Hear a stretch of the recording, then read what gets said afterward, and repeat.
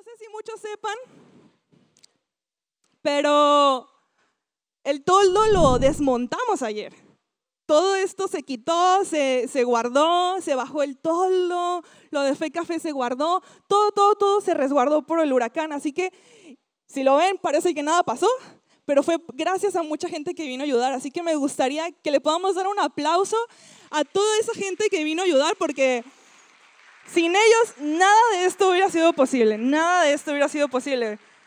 Hubieran visto cómo eran muchos hombres alrededor del toldo y todos jalando el toldo a la vez para poderlo volver a subir. Y bueno, son historias que son bonitas vivir.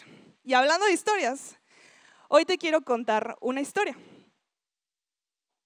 Y te la voy a leer. No, no soy muy buena contando historias, pero yo creo que tú me vas a entender.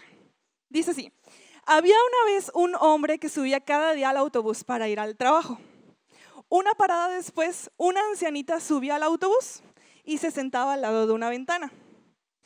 La ancianita abría una bolsa y durante todo el trayecto iba tirando algo por la ventana. Siempre hacía lo mismo. Y un día este hombre intrigado le preguntó qué era lo que tiraba por la ventana. La ancianita le responde, son semillas. ¿Semillas? ¿Semillas de qué?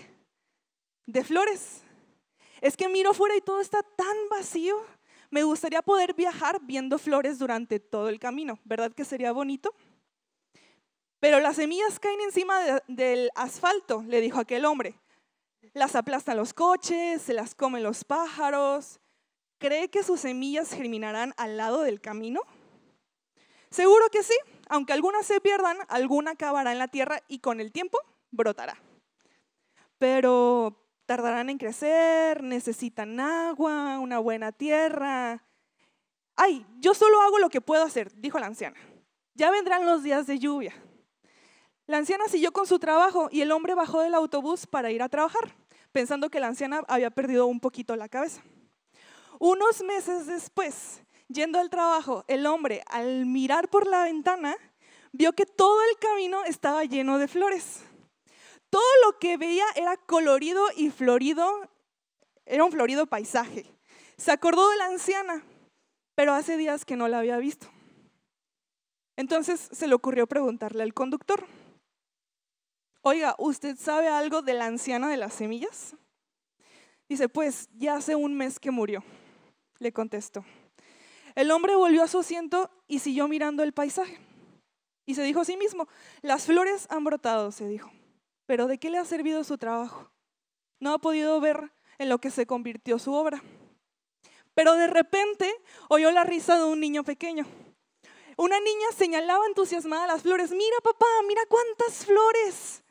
Podemos ver que la anciana había hecho su trabajo y dejó su herencia a todos los que la pudieran recibir.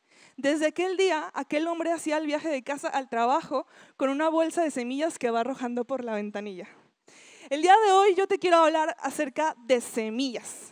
Hemos estado viendo en las últimas, el último mes, hemos estado viendo acerca de semillas, que nuestras palabras son semillas, cómo pueden influir en la vida de otros y cómo pueden influir incluso en nuestra vida. Pero hoy yo te quiero hablar de otro tipo de semillas y son las semillas de fe. Porque estas semillas no son semillas cualquiera. Las semillas de fe son semillas que plantas sin ver resultados pronto. Son semillas que plantas sin ver resultados pronto, pero que crees que lo vas a recibir. La ancianita todos los días plantaba semillas. Yo no sé de dónde sacaba tantas semillas, pero todos los días plantaba semillas. Y ella iba en el camino plantando y plantando y ella sabía que algunas de esas semillas que estaba tirando no iban a dar fruto, algunas iban a terminar en el piso, pero eso no la hizo rendirse. Y ella siguió plantando por meses hasta que llegó el tiempo donde esas semillas en algún momento cayeron en buena tierra y esas semillas producieron un, flores, producieron un fruto.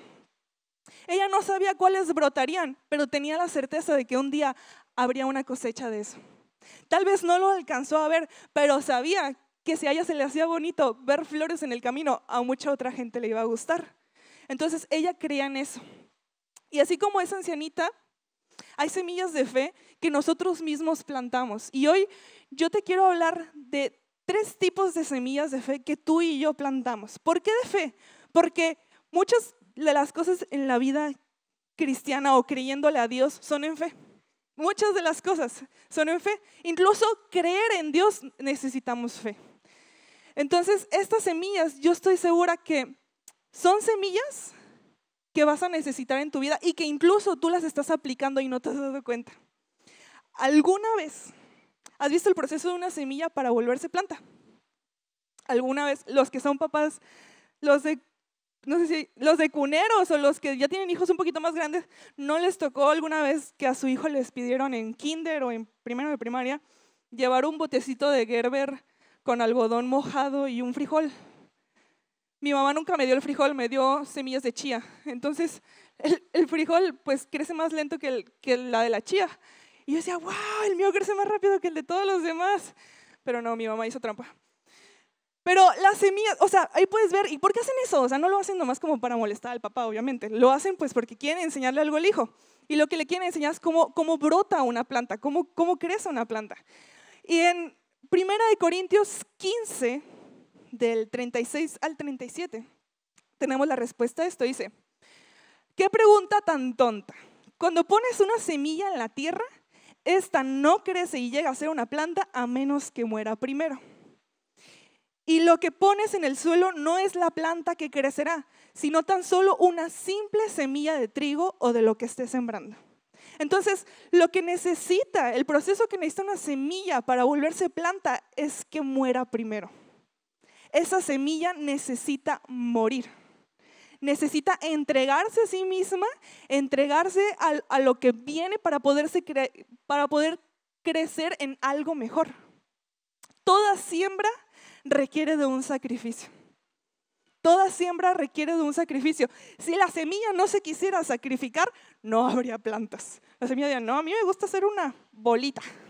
A mí me gusta hacer una semillita. Yo no quiero hacer un árbol, pero la semilla tiene que pasar por un sacrificio para poder cosechar algo mejor. Y en nuestra vida, muchas de las semillas que sembramos las sembramos con sacrificio la, sembramos sacrificando algo, porque mira, escucha, el sacrificio es la antesala a la siembra. Tú y yo no podemos sembrar en la vida de otras personas, no podemos sembrar y querer cosas para nuestra vida, querer cosechar mucho para nuestra vida y no haber un sacrificio en eso. Siempre hay un sacrificio. Sacrificio económico, sacrificio, sacrificio de tiempo, sacrificio emocional, pero siempre hay un sacrificio. Muchas veces deseamos ver cumplidos nuestros sueños. A veces deseamos que nuestra familia venga a Cristo.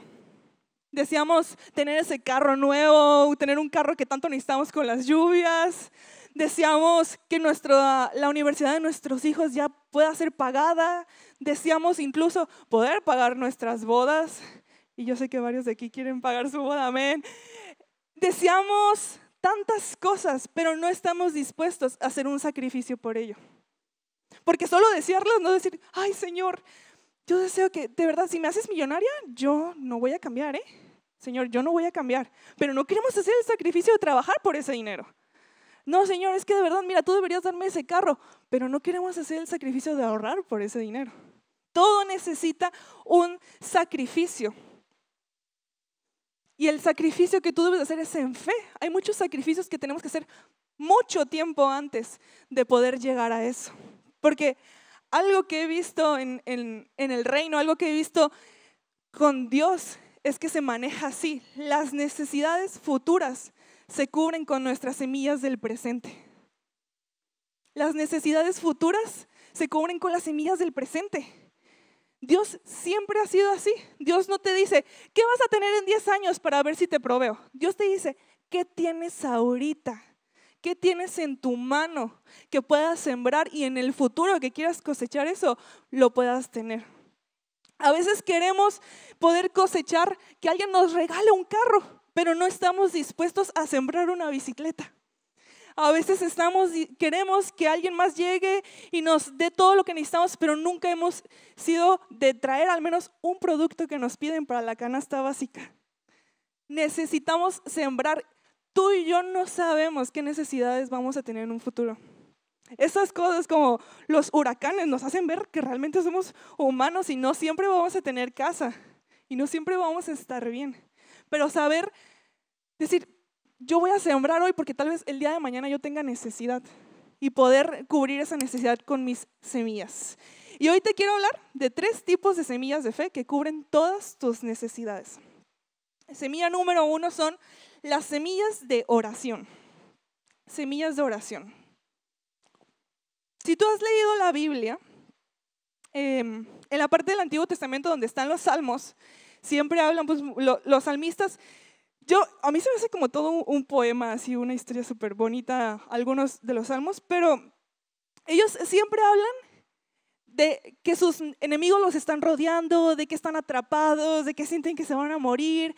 O sea, ellos lo ven, ellos lo ven porque lo escriben, ellos ven eso, ellos ven que, que la dificultad que hay a su alrededor, pero ellos siempre oraban por ver su victoria. Ellos siempre oraban por ver su victoria. O sea, ellos veían todo alrededor, pero siempre terminaban diciendo, pero Dios, tú eres más grande que eso. Pero Dios, tú me vas a dar la victoria. Pero Señor, en ti confío. Y ellos lo que hacían era sembrar. No se quedaban afligidos en su dolor. Ellos lo que hacían era sembrar. Señor, no sé cómo voy a salir de esta deuda, pero yo sé, Señor, que tú me vas a liquidar toda deuda. Tú me vas a dar el dinero para que salga de esto. Porque en tu oración es donde cambias, cambias el futuro, cambias, cambias lo que viene para tu vida. En tu oración es donde las cosas son cambiadas, no esperando algo a cambio, sino creyendo que tú tienes un Dios más fuerte y más grande de lo que podemos ver. Porque todo es por fe. Sobre toda dificultad, siembra oración. Sobre toda dificultad, sobre todo lo que te cuesta, siembra oración. Donde hay escasez, siembra abundancia. Donde las puertas están cerradas, siembra esperanza y confianza en que Dios abrirá las puertas correctas. No limites tus semillas de oración. Mira, son las únicas semillas gratis que tenemos. Son las semillas gratis. Lo único que tenemos que hacer es hablarlo y creerlo. Me encantó la otra vez esta Fiona Mellet. ¿Se acuerdan de la pelirroja de Vencedoras? Las mujeres se han de acordar de ella. Esa pelirroja muy guapa. Nos estaba contando una historia. Y dice, mi pastor siempre dice, en el cielo tenemos muchas herencias que están guardadas ahí para nosotros, herencias que Dios tiene muchas, muchas para cada persona. Y son herencias que tal vez nunca vamos a recibir porque nunca oramos por ellas. Hay tantas cosas que Dios quiere darte que tú necesitas orar por ellas. Hay tantas herencias que están guardadas ahí para ti que tú nada más necesitas hablarlas, tú necesitas orar por ellas, pedírselas a Dios para que Él te pueda dar. Esas herencias no son para que las recibas en el cielo, esas herencias son para que las recibas aquí en la tierra. Porque lo mejor no va a ser en el cielo, Dios ya quiere darte cosas buenas aquí en la tierra. Y Dios quiere que tú las puedas recibir. Mira, yo creo que Dios va a decir como de que, pues ahí están, pero no me las pide y anda sufriendo porque no le alcanza, pero ahí está, pero no me lo pide. Entonces necesitamos estar orando y creyendo por eso. Filipenses 4 al 6, perdón, 4 versículo 6. Dice, no se preocupen por nada. Dile al de tu lado, no te preocupes, no te preocupes. En cambio, oren por todo Díganle a Dios lo que necesita y, necesitan y denle gracias por todo lo que Él ha hecho. Así experimentarán la paz de Dios, que supera todo lo que podemos entender. La paz de Dios cuida su corazón y su mente mientras vivan en Cristo Jesús. No tenemos nada que preocuparnos. Yo sé que es difícil. Uno dice, no, no hay nada de que... O sea, yo sé, yo sé, yo sé, porque a mí también, yo me preocupo por muchas cosas. Pero el momento en que el oro por eso es como que, ya, yo ya morí a eso. Yo voy a dejar que Dios sea quien haga su obra. Hay oraciones que son difíciles de hacer. Hay oraciones que son dolorosas. Hay oraciones... No, ¿Cuántos de aquí tienen familiares que no han venido a Cristo, pero tú has estado orando por ellos? Muchísimos, muchísimos. Y yo creo que todos tenemos algún familiar que no ha venido a Cristo. Y esas son oraciones difíciles. Orar sabiendo que tal vez ese familiar está metido en muchas cosas y tú dices, ¿cómo va a salir de eso? Pero Señor, yo, yo quiero verlo a tus pies. Tú has dicho que mi casa servirá al Señor, pero Señor, no lo puedo ver y son oraciones bien difíciles. oraciones que te sacan las lágrimas, oraciones que te quebrantan. Pero hay algo que dice en Salmos 126, 5 y que te va a animar a estar orando y lo puedes agarrar como una promesa si tienes algún familiar que no viene a Cristo o que no se ha entregado a Cristo. Dice, las lágrimas que derramamos cuando sembramos la semilla se volverán cantos de alegría cuando cosechemos el trigo. Un día tú lo verás. Mantente orando, un día tú lo verás. Mi mamá y yo estuvimos orando por mi abuelo. No sé, dos años, fue algo así. Tal vez mi mamá desde que es su papá. Pero estuvimos orando por él, estuvimos orando por él, estuvimos orando por él y no veíamos nada y veíamos que a veces sí y a veces veíamos que no y que luego sí quería de Dios y luego no quería nada. Y nosotras, ay, pero es que él ya es un hombre grande y qué tal si se muere. Y seguimos orando y seguimos orando y pudimos ver en sus últimos meses de vida cómo Dios lo fue tocando y Dios lo fue transformando y la esperanza no se, no se terminó ahí. Pudimos ver cómo aún las personas que nosotros decimos, esa jamás va a llegar a Cristo.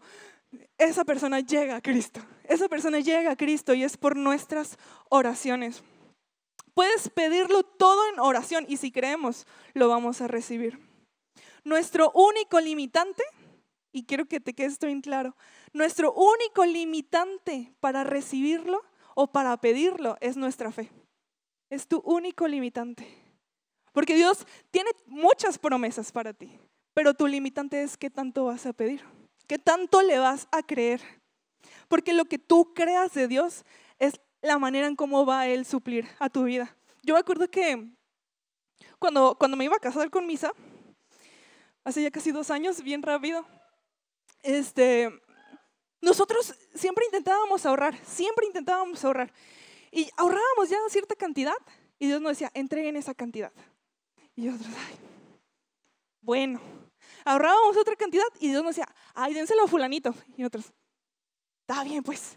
Y, y, seguíamos así y, y, llegó un punto donde ahorramos una cantidad que dijimos, bueno, esta ya es una humilde cantidad, pero pues está bien. Y Dios nos hacía entregarla, entregarla. Y ya llegó el tiempo donde nos comprometimos y ya nos íbamos a casar. Y nosotros, Señor, no tengo nada de dinero, tengo muy poquito, no me alcanza para nada. Pero pudimos ver que de toda la boda, nosotros solo pusimos una quinta parte. O sea, todo lo demás fue suplido de una manera que ni sabemos cómo. Todo lo demás llegó, nos dieron, nos dieron dinero, pasaron cosas y, y yo pude ver la mano de Dios ahí. Y no solamente fue porque sembramos finanzas, sino porque fue porque nosotros le estuvimos creyendo a Dios. Le estuvimos creyendo y estuvimos orando, Señor, tú nos estás mandando esto, tú provee. Señor, tú, estás, tú me diste una promesa, tú provee para esa promesa. Pero estuvimos en oración y en oración. No, nos, no te puedes detener solamente decir, Dios me dio la promesa, pues ahí la tengo. Ponte a orar por la promesa. Necesitas estar orando por tu promesa.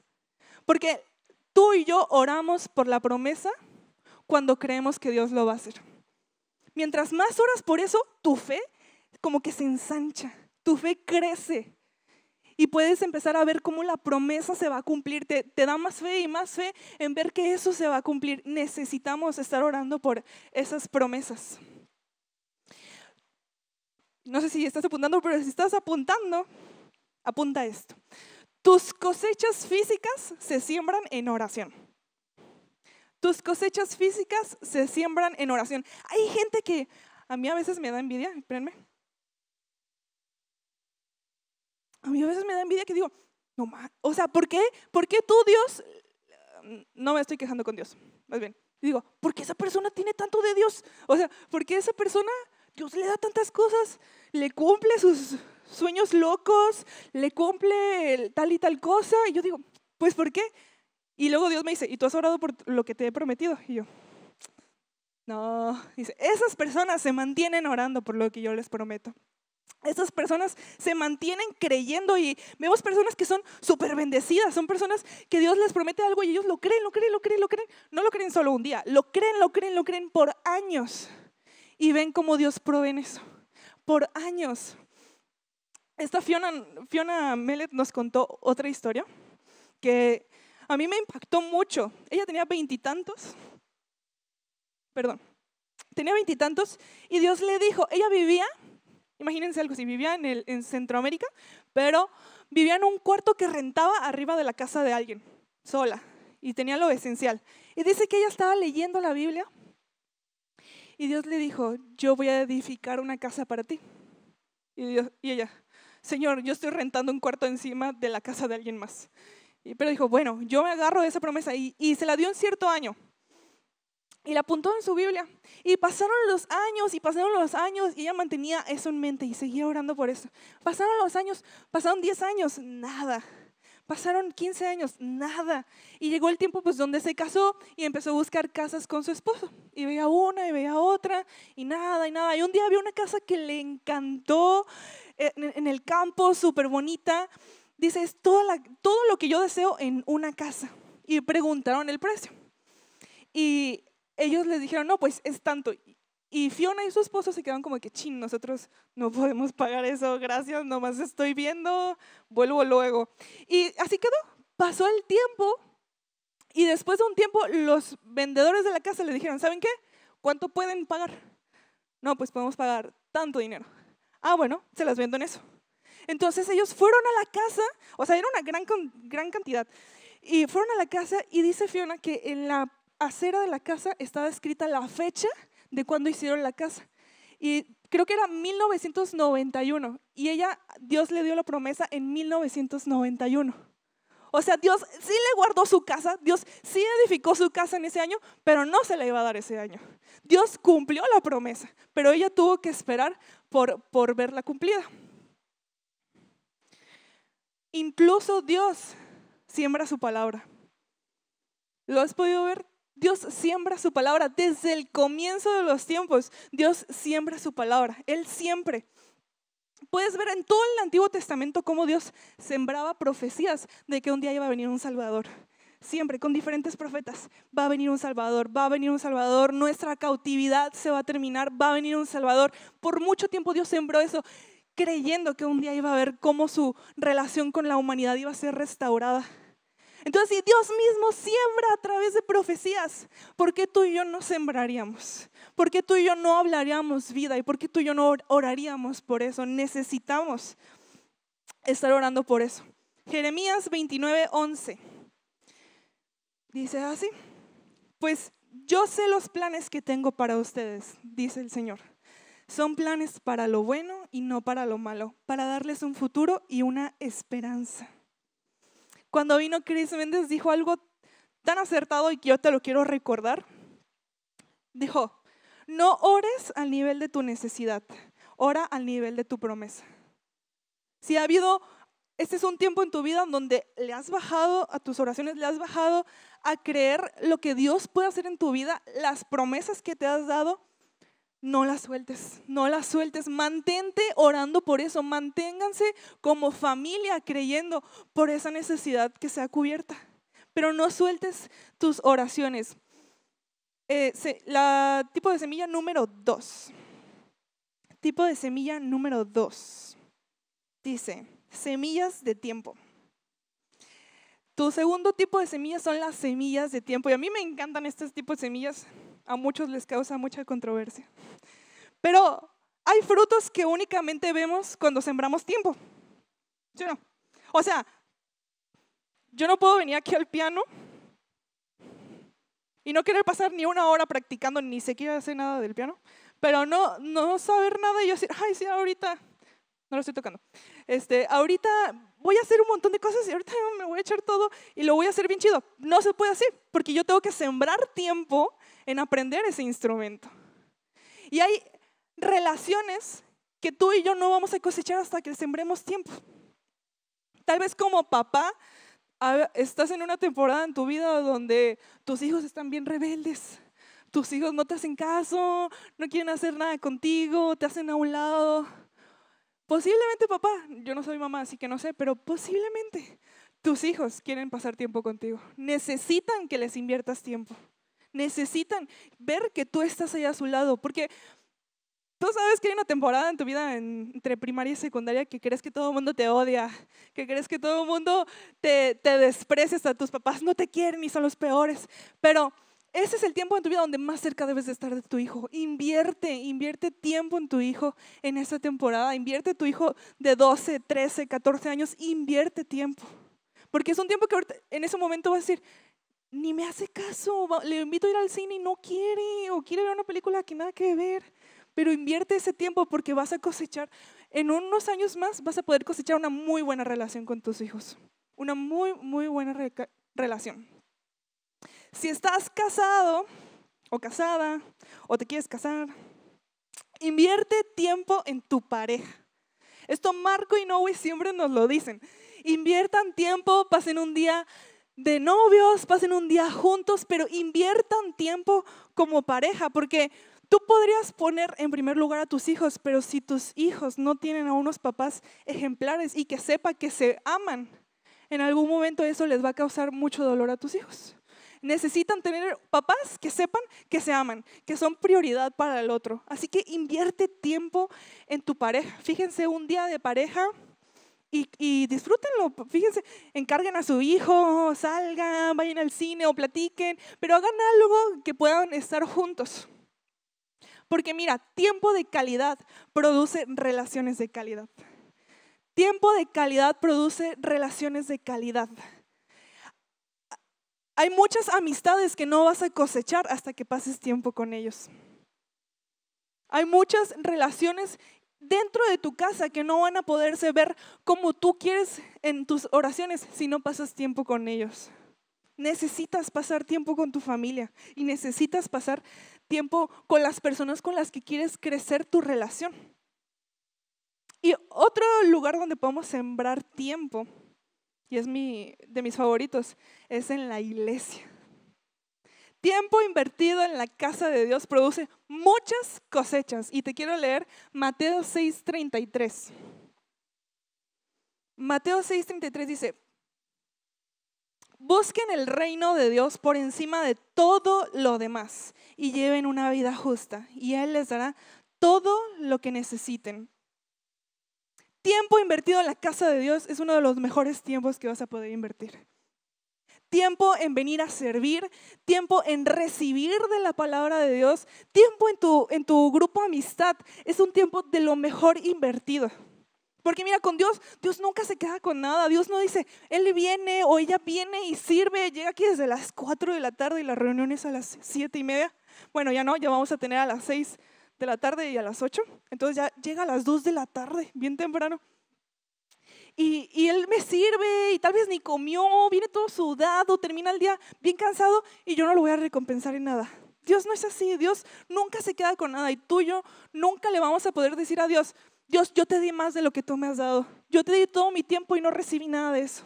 Sino que Dios, cuando tú inviertes en su reino, él puede abrir las puertas de los cielos y poder derramar bendiciones sobre tu vida. Dios recompensa los sacrificios que haces por venir a servirle. Dios lo recompensa. Y aunque tú creas que estás perdiendo tu tiempo, que hay cosas que puedan ser más importantes, un día vas a ver esa recompensa. Dios incluso recompensa tus finanzas por invertir en el reino. Invertir en, en venir dices, pues no tengo dinero para los camiones de toda la semana y aparte ir a la iglesia, pero cuando inviertes en eso, el Señor siempre lo recompensa, siempre. Y quiero que esto se quede en tu corazón. Dios ve lo que tú haces en la iglesia. Dios ve tu servicio para Él. Dios lo ve. Y Dios no se va a quedar con nada. No desistas en servir en tu casa amistad, porque tu servicio, papás, su servicio en su casa son un ejemplo para su hijo. Su servicio y su amor y su entrega por la casa, aunque tú digas, yo solo lavo baños, yo solo hago X cosa, tu hijo lo ve y eso es un gran ejemplo para él. Necesitas estar sirviendo y que él pueda ver lo bueno que es entregar tu vida a Cristo. Del fruto que quieras cosechar es la semilla que debes plantar. Entonces, si tú quieres hijos que sean entregados a Dios, ¿qué debemos hacer? Dejarlos servir en la iglesia. Eh, muchos papás no les gusta eso. Pero si tú quieres hijos entregados a Dios, debemos dejarlos servir en la iglesia. Mira, obviamente tu hijo debe entender que tiene responsabilidades en casa y que él tiene que cumplir primero con su primer ministerio, que es la casa. Pero no podemos ponerle de excusa siempre la casa porque no sirva en la iglesia. Porque es una rachita en el que tu hijo o tu hija quiere venir y servir y enamorarse de Dios, pero va a llegar al punto donde si, si como papás les decimos no y no y no, tu hijo va a decir ya no quiero ir. Y ahora vamos a sufrir porque ahora nuestros hijos son rebeldes. Déjalo servir en la iglesia. Yo me acuerdo que mi mamá, la pongo mucho de ejemplo hoy, pero es que hemos pasado muchas cosas así. Yo me acuerdo que mi mamá hubo un tiempo en el que salí de la prepa y me dijo, yo no quiero que estés en la casa sin hacer nada. Entonces, le voy a decir a Noé que te ponga a hacer algo en la iglesia. Y yo, ay, bueno. Y fue, no, yo no quiero que mi hija esté floja. Así que ponla a hacer algo, ponla a hacer algo. Y sí, me pusieron a hacer muchas cosas. Pero dentro de eso empecé a servir y me empezó a gustar y, y fue porque ella, ella dijo, ¿eh? Ella dijo. Y luego yo me la pasaba ahí todo el día en la iglesia. Llegaba a 8 de la mañana y me iba 5 o 6 de la tarde y mi mamá, ¿dónde estás? Y yo, en la iglesia donde tú me metiste. Así que no me puedes decir nada. Yo estoy aquí porque tú me metiste. Pero yo creo y realmente creo que ella puede ver un fruto de eso de dejarnos invertir en la iglesia, de días donde tal vez no salíamos como familia como nos hubiera gustado, pero que nos pudimos enamorar de Dios, no de la iglesia, sino de Dios, puede traer un gran fruto y, tú puedes estar orgulloso de tus hijos por eso. ¿Quieres hijos temerosos de Dios? Déjalos ir a un grupo de amistad. Mételos a un grupo de amistad. Haz que se involucren en conocer de Dios. ¿Quieres hijos que te honren? Déjalos tener experiencias con Dios ir a un campamento, ir a un encuentro, ir a su grupo amistad, experiencias, eventos donde sea para jóvenes, déjalos ir. Todo eso no es una inversión en vano. Tus hijos en algún día tú vas a poder cosechar de los frutos que tus hijos van a dar. Tú vas a poder cosechar, pero involúcralos en la iglesia. Invierte tiempo en lo que quieras cosechar. Si quieres cosechar una buena carrera, invierte tiempo en tu carrera. Si quieres cosechar una buena familia, invierte tiempo en tu familia. En tu matrimonio, con Dios, invierte lo más que puedas con Dios, porque mira, con Dios todo se multiplica, con Dios todo se expande.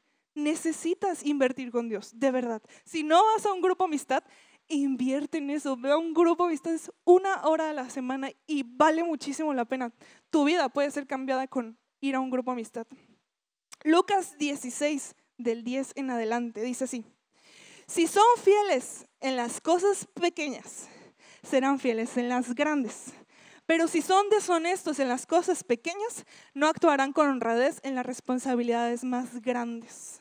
Empieza con poquito, empieza a invertir con poquito y vas a ver cómo Dios te va a empezar a multiplicar más. Empieza invirtiendo en ir en un grupo de amistad y vas a ver cómo eso va a transformar cada área de tu vida porque lo leímos en un versículo anterior. Busquen el reino de Dios por encima de todo lo demás y lleven una vida justa y Él les dará todo lo que necesiten. No creas la mentira de que invertir en el reino es una pérdida de tiempo. Invertir en el reino es la mejor inversión que vas a hacer en tu vida.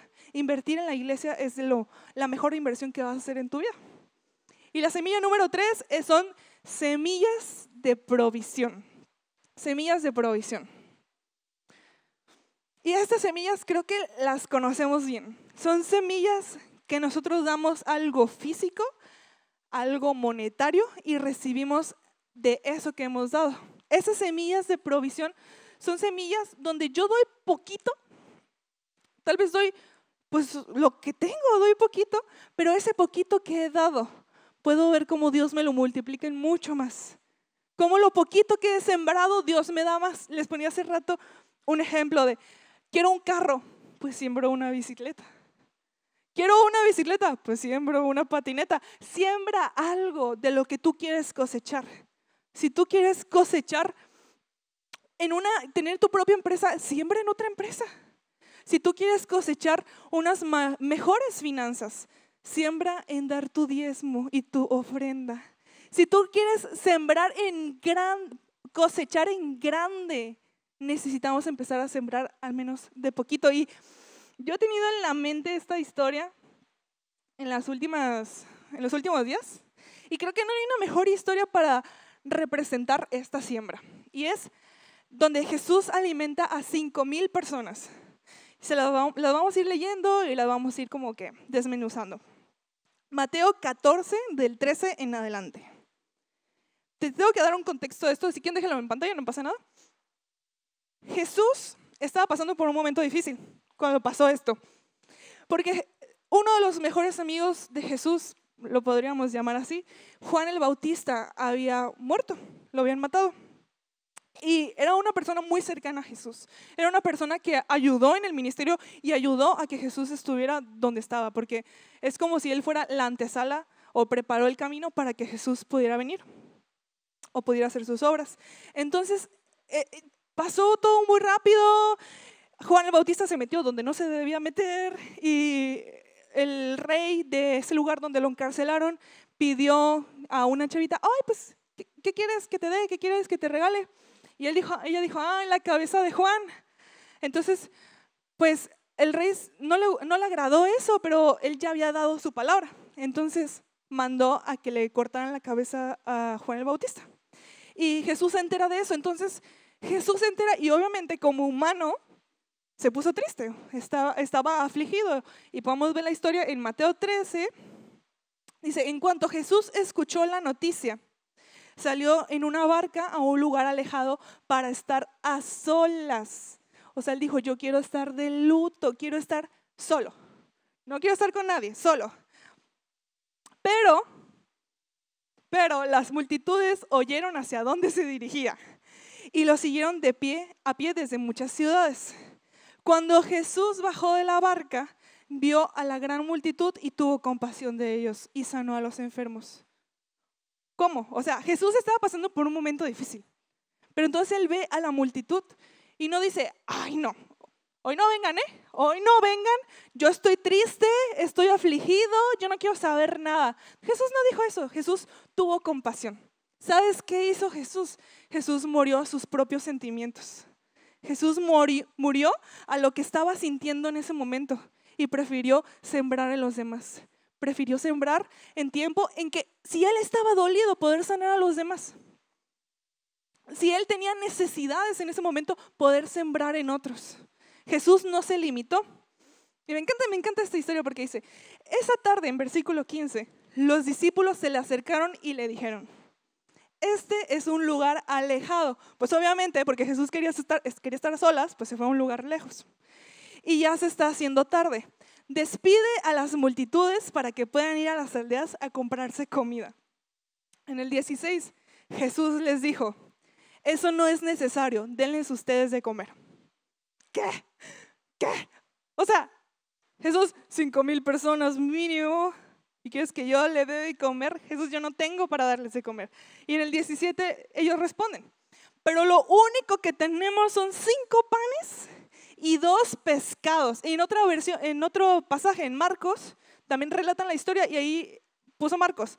Tendríamos que trabajar durante meses para ganar suficiente a fin de comprar comida para toda esta gente. O sea, Jesús, ¿me estás diciendo que yo los alimente?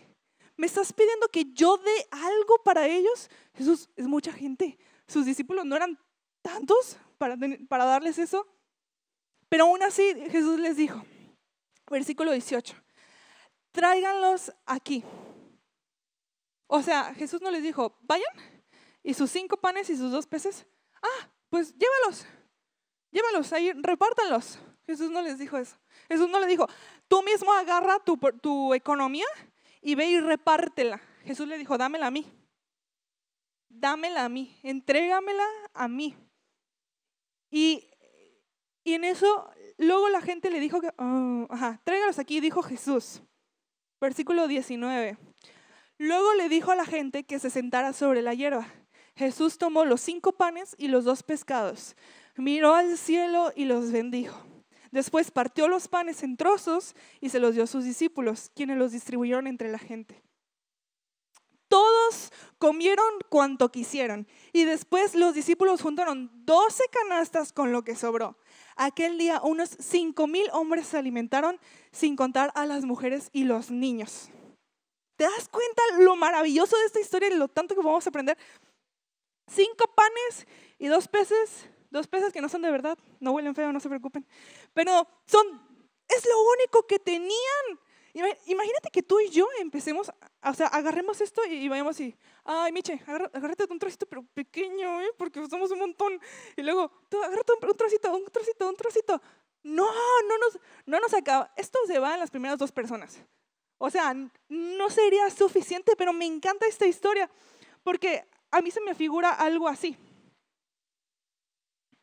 Van, bueno, es lo que tengo, y es lo que tengo, y lo voy a repartir, y empiezan a ver cómo se multiplica. Toma, no te voy a dar pan, es que te vas a casar. Toma, y lo empiezan a repartir. Ah, ya llevamos tres peces y solo teníamos dos. Ah, Edith, ahí se reparten el pez, ¿va? Toma, un pez para ti. Y empezaron a ver cómo se multiplicaba. Dicen, solo tenemos dos peces. Un pez para ti. A ver, pasen peces para atrás. Pasen peces para atrás. Quien quiera pan, vaya atrás a por un panini de fe café. Pasen peces para atrás. Y seguía, y seguía. Y ellos así, ¿qué? Pero si solo tengo dos, este, lo comparten tres, por favor. Y, y, seguía, y esto continuaba, y la provisión continuaba, y continuaba, y continuaba. Y bueno, yo, a mí no me continúa porque yo no soy Jesús, y ya se me acaban los peces. Pero la provisión, no, allá atrás lo venden con quesito y jamoncito, y así, bien rico, con papas, y lo incluyes con un lemon fresh, y bien sabroso. Pero eso Tú no sabes, tú no sabes de dónde sale. Yo no sé de dónde sale. Y me encanta eso de Dios. Que yo le puedo decir, Dios, yo solo tengo, yo solo tengo 10 pesos. Señor, yo solo tengo 100 pesos y se me hace nada para ti. Pero te lo doy y puedo ver cómo tú cosechas tanto. Puedo ver cómo tú devuelves a tus hijos, a los que confían en ti, tanto, Señor. Tanto, tú no te limitas en lo que das. Y tú debes de creer eso. Dios no se limita. Si si Él pone en ti sembrar algo, créeme, es que ya tenía una cosecha para darte. Él no te va a pedir sin saber qué darte. Él ya sabe lo que quiere darte. Solo está pidiendo que siembres algo. No mires el tamaño de tu semilla. Mira al Dios que se lo estás dando. No confíes en el dinero, no confíes en lo que tienes en tu billetera, sino confía en el proveedor. Dios es el proveedor perfecto para nuestra vida. Y la fe no pide mucho, y me gustaría que pase alabanza. La fe no pide mucho, pero debemos entender algo, la fe desencadena mucho. La fe desencadena mucho. Y yo he visto que amistad es una iglesia que de verdad tiene una fe sobrenatural. Porque puedo ver otras iglesias y tal vez no las conozco tanto, pero yo he visto a la gente de amistad. La gente de amistad le cree por mucho a Dios. La gente de amistad no se limita en lo que tiene en sus manos. nosotros le creemos en grande. Tan solo podemos ver este toldo y en el momento en que empecemos a construir una iglesia vamos a ver en grande. Así que no limites tu fe, únete a la fe de esta comunidad, únete a la fe de saber que Dios va a proveer mucho. Filipenses 4, 19 dice, y este mismo Dios, quien me cuida, suplirá todo lo que necesiten de las gloriosas riquezas que nos ha dado por medio de Jesús. Y este Dios quien me cuida, suplirá de todo lo que necesiten, de las gloriosas riquezas que nos ha dado por medio de Jesús. Tú no necesitas entender cómo Dios lo va a hacer. Tú solo debes de creerlo.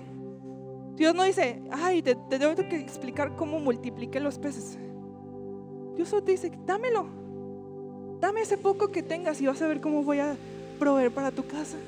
Vas a ver cómo voy a proveer para tu empresa. Vas a ver cómo voy a proveer para tu familia. Pero no te quedes con la semilla en tus manos. No te quedes con la oración guardada y, y no, no la comunicas, no se la sueltas a Dios. No te quedes con tu tiempo libre en casa porque prefiero ver una película. Ve a tu grupo amistad, necesitamos invertir en el reino. Y yo te voy a leer varias promesas que Dios da de eso.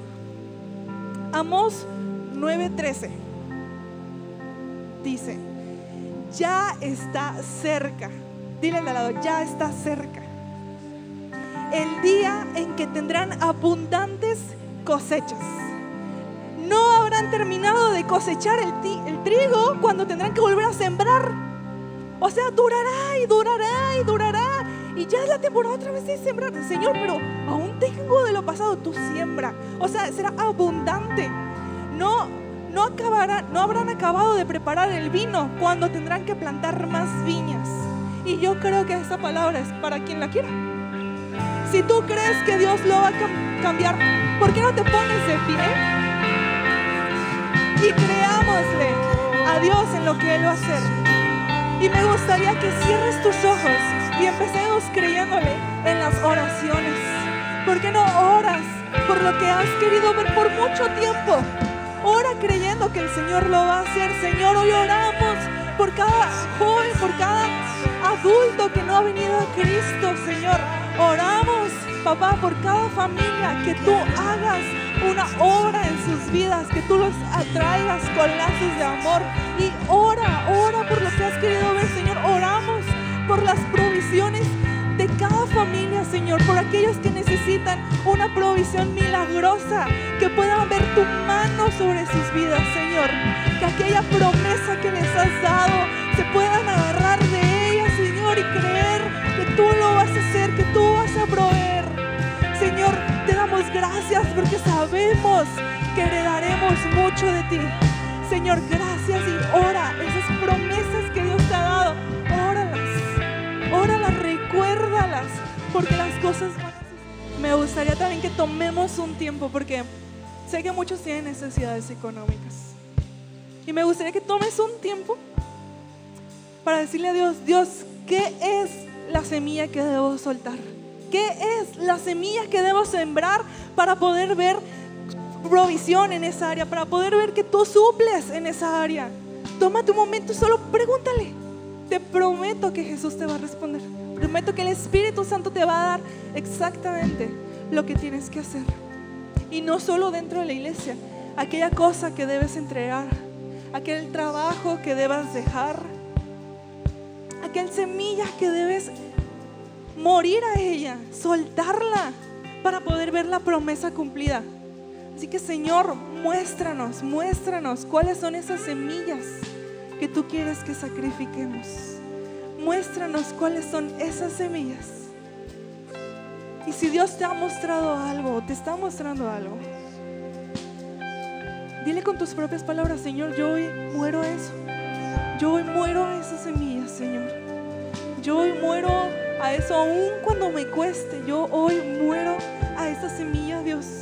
Y creo, y creo en lo que tú vas a hacer en mi vida. Y creo que más que lo que estoy viendo, tú vas a proveer, Señor. Tú vas a proveer milagrosamente sobre mi vida. Milagrosamente, Señor, que donde veía puertas cerradas, puedo ver cómo tú las abrirás. Que donde veía únicamente cinco panes y dos peces, puedo ver cómo provees para multitudes, cómo provees para mi casa, cómo provees para mi empresa. Y gracias, Señor, gracias por eso. Gracias por cómo vas a proveer a la vida de cada uno de los que estamos aquí. Gracias, Señor. Y me gustaría leerte Juan 3:16, porque esta es la mejor semilla que vas a poder cosechar.